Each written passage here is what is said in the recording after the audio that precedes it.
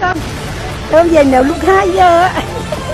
bác mời cơm mời được đi theo Từ 4 giờ 30 phút sáng 21 tháng 9 năm 2023, Ban Diệu Thuận, ngụ quận Tân Bình, thành phố Hồ Chí Minh đã đến tòa án nhân dân thành phố để theo dõi diễn biến phiên tòa xét xử sơ thẩm bị cáo Nguyễn Phương Hằng và bốn đồng phạm về tội lợi dụng các quyền tự do dân chủ, xâm phạm lợi ích của nhà nước, quyền lợi ích hợp pháp của tổ chức cá nhân từ vì bà cũng có coi trên mạng rồi coi tin tức á.